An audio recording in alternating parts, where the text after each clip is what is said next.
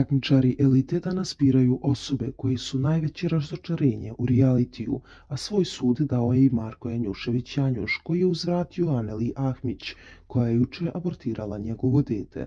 Smatram da, da zaslužujem da budem na ovoj anketi, jer smatram da sam sam sebe razočarao i ljude koji me vole, jako drage koji me napolju vole, što sam sebi dozvolio da emocije ne ostavim sa strane, već da sebi dozvolim da opet uđem u odnos ljubavni u realitiju.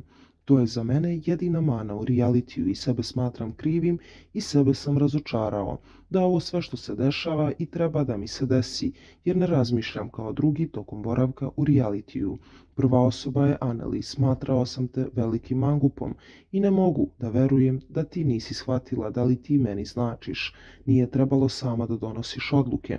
Nije trebalo da abortiraš, da si imala mozga, nije trebalo sa mnom da se svađaš, rekao je Janjuš. Ti hoćeš da svališ da sam ja uradila nešto bez našeg dogovora. Sedi se, pre sedam dana si govorio da ne želiš to dete, rekla je Aneli. Nisam nijednog trenutka rekao da ne želim dete. Svašta si mi rekla ovde.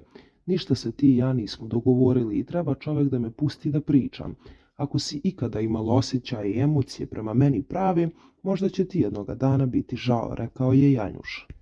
Ti meni pričaš da će mi biti žao, a ja sam juče bila na operacionalnom stolu. Sram te bilo.